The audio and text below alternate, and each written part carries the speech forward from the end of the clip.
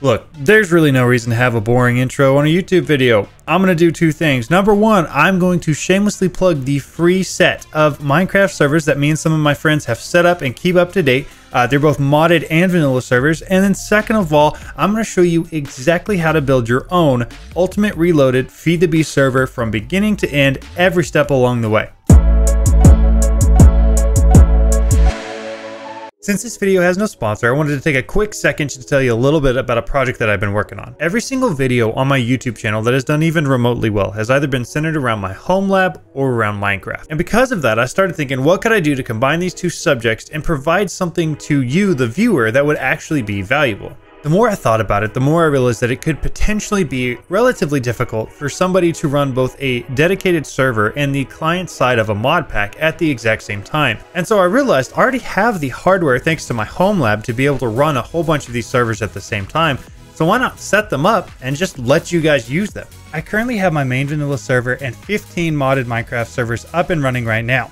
But by the end of this, I plan to have well over 150 total servers running at once. The goal of this project is simply to allow friends to be able to play with each other on a server without one of them having to take the incredible performance hit of actually having to run that server for themselves. Again, this is totally free, so please feel free to share the server information with whoever you think might actually use it. Okay, back to the video. Okay, so step one is to search for the Feed the Beast app. It'll look something like this. You can literally just click the top link and it'll have an option for you to download this for Windows.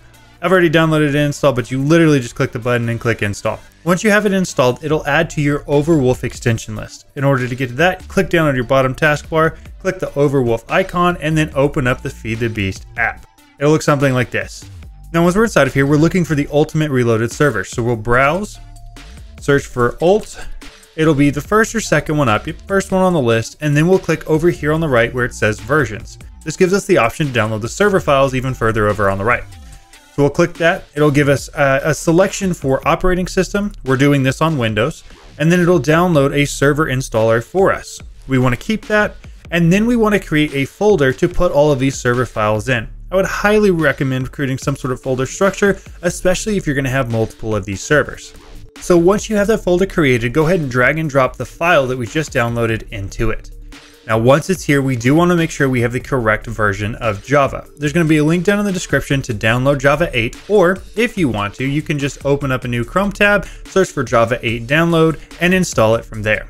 Sometimes Java does make you create an account, sometimes it doesn't. It really just depends on the version you're downloading. For 8, I believe it does. Now, once we have the correct version of Java installed, we just have to double click this server installer. It'll ask us if we'd like to create a directory, which you can if you want to. I don't really need to because I already created a folder and put it in here and it's the only thing inside of this folder. So I'm gonna go ahead and just hit enter. It'll ask me if I still wanna put it in the root, hit yes, and then it'll ask me if I'm sure I want to install. Once we click yes on that, it'll proceed to install the server for us. This does take a little bit of time due to the fact that it's installing all of the mod packs for the entire Feed the Beast server uh, and downloading them all as well. So it can take a pretty good amount of time. Now, once that's finished running, you'll notice that you have quite a few more files inside of your folder.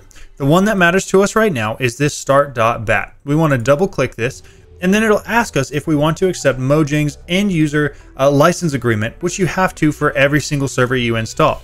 Uh, you would think they'd have some way to just to save it, so I don't have to click yes on every single one of these, but they don't. So select yes there, and then it'll proceed to install the server for you. Now, every single Feed the Beast server is different and it always has a different inline. For this one specifically, it looks like the, the Thaumcraft stopping Aura thread for dimension negative 3 is the last line for me. Could be different for you. The first thing I want to do though, once it's done installing, is go ahead and make myself a server operator. So I will type in OP and then my Minecraft username. Once we're done with that, I'm already a server operator. So next we want to go check out the server properties file. So we'll open that up and there's a couple things I want to change and one thing I want to note. The first thing I want to change is the max number of users that are allowed online. In general, this is always set to 20. For this specific server, I want to set it to 8.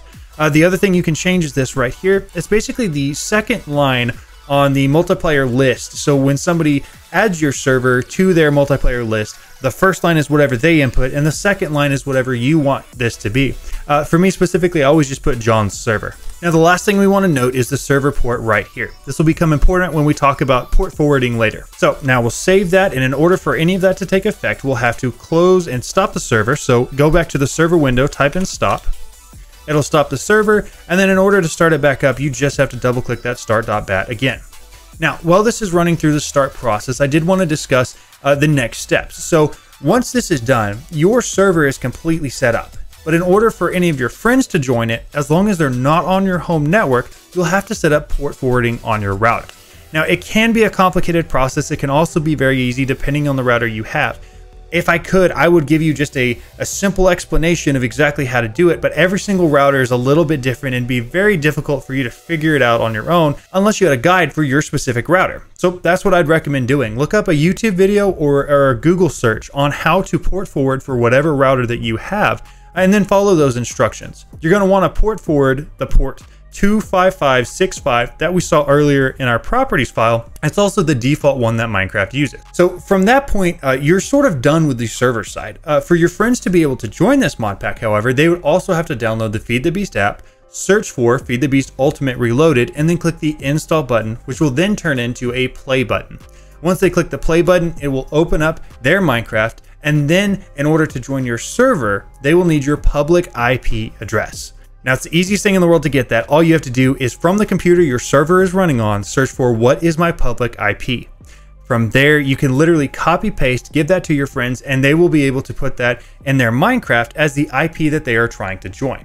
From there, they just have to click enter and they'll be loaded into your Feed the Beast Ultimate Reloaded server. So there you have it. You now have a running Feed the Beast Ultimate Reloaded server and your friends should be able to join that server. Again, if you would like to, you are more than welcome to join my Discord and we will have one of these set up that you and your friends can play on as well. Uh, so look, you've already made it this far in the video. You might as well go ahead and subscribe, like the video if you so choose, and I will see you guys in the next one.